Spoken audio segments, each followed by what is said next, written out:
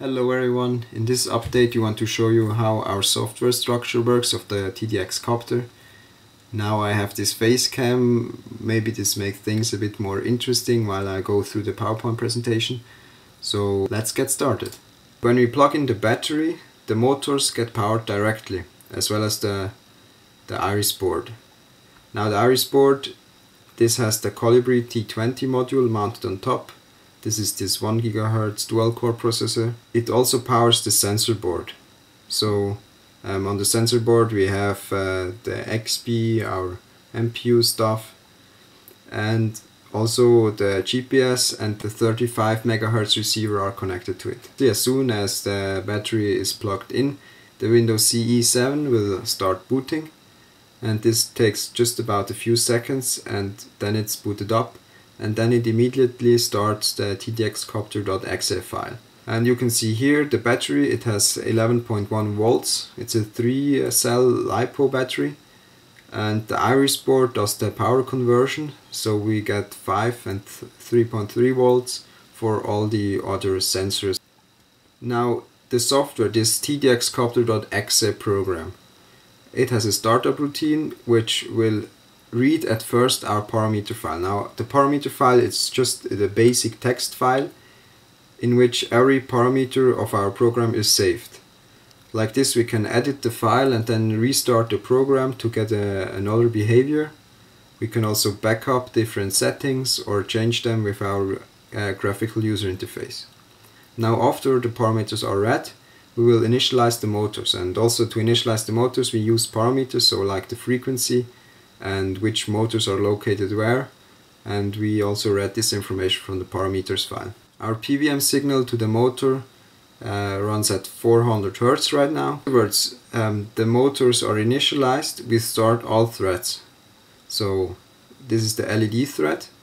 The thread is like a simul uh, program that runs simultaneously to the main program. So there is still, still our main program running, but now there is this thread, the LED thread and what it does it just updates the LED status and we need this as a separate program so we can have like blinking LEDs or other settings.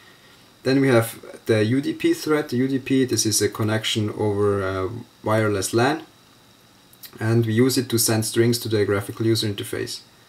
We also have the XBee module for this task. Now there is also the battery thread.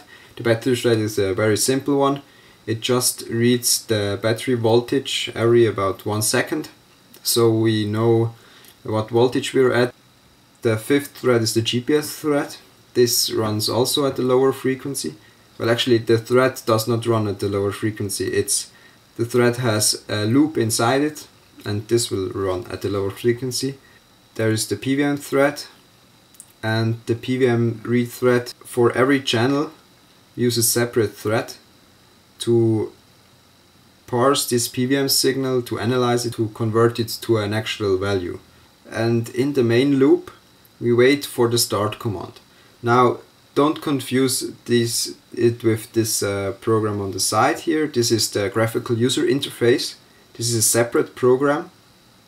And I only showed the picture here so you see the buttons because there is this uh, green start control button. And when we press, press this button, it will actually start the control thread in here. So this is just an if condition and if this button is pressed then it will start it. We also have the stop control button which allows us to, to stop the control but we won't fall out of the main loop using this button.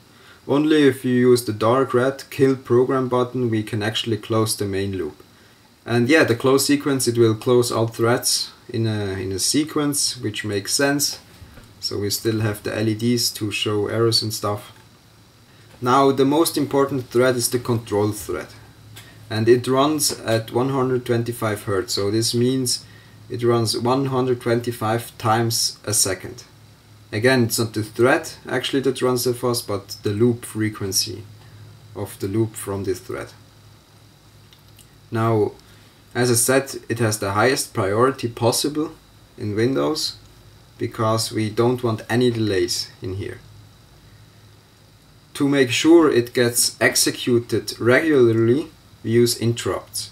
Now the MPU 9250, this is our, our main sensors, sensor we use. Uh, it houses actually three gyros, three accelerometers and three uh, magnetometers. And also it has a DMP. Uh, this is the dynamic motion processor. It actually has this interrupt. So every time it has a new value for us, it will signal this in a separate line. In a separate uh, it's it's a, a, little wire going from the sensor to the quadcopter and there is a little pulse. And this is the interrupt and we wait for it and when it comes we will execute the loop one more time then we have the GPS thread it has much a lower frequency. We, we run it at 5 hertz so 5 times per second. It's actually quite fast for a GPS normal GPS have uh, update rate of 1 hertz. And we use the GPS as an interrupt here. The GPS itself, it doesn't have an interrupt wire, but uh, it sends serial, serial strings over the UART connection. And the Windows library allows us to get an interrupt as soon as some data arrives in the buffer. And then we wait a little bit, a millisecond or something, to make sure everything arrived, and then we read out everything. So we use this as an interrupt and we use this the same method to read the, the XBee. For the XBee we use actually two threads, one to send stuff and one to receive.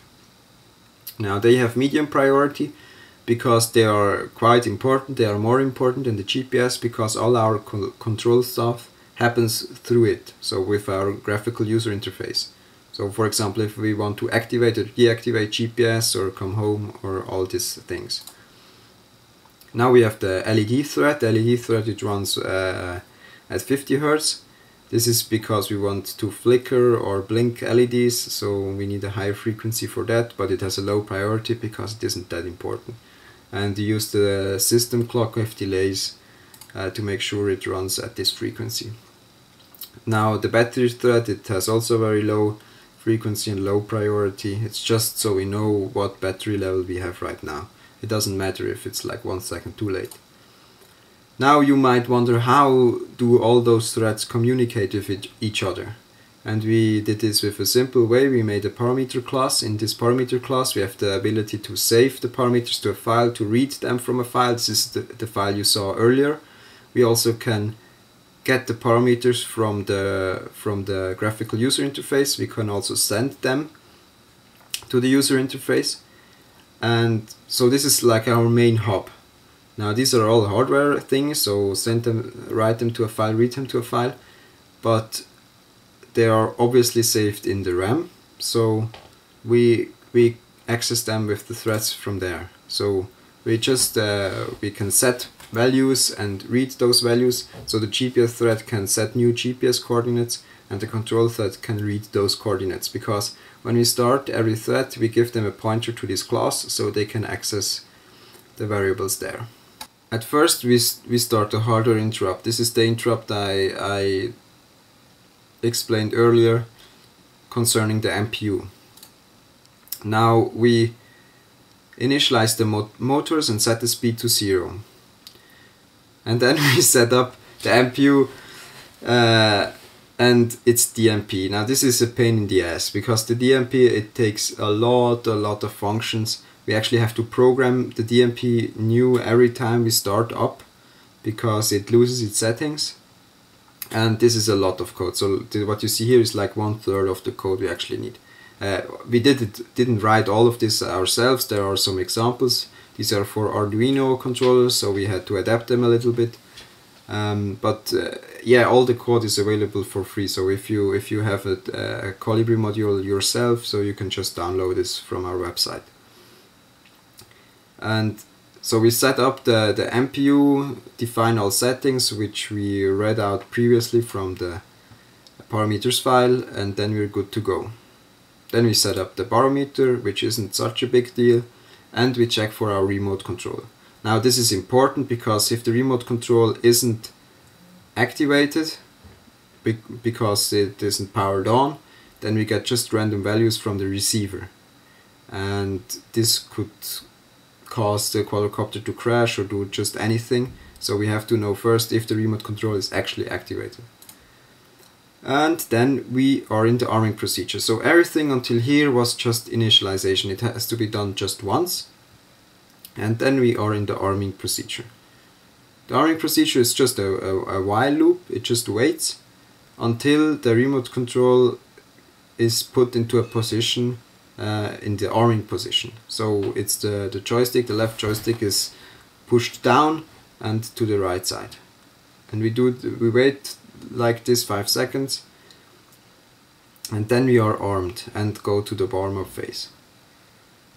In the warm-up phase we do the same thing as in the main control phase but we don't access the motor so we read all sensor data and store them in in the RAM then we start the main control loop and this is what actually makes the quadrocopter hover. So if we are at this point in time right now then we can just put up the throttle of the remote control and we are able to hover. Now this main control loop it gets executed every 8 milliseconds. And this is quite fast. So eh, as I said this is about 100 more than 100 times per second. And this is all that happens. So these few points these are what make the quadrocopter hover. So at first, we just read out the MPU. So this is the sensor with the accelerometers and the gyroscopes. And we convert the data to nice units. Then we read the barometer, so the pressure sensor, and the remote control stick positions.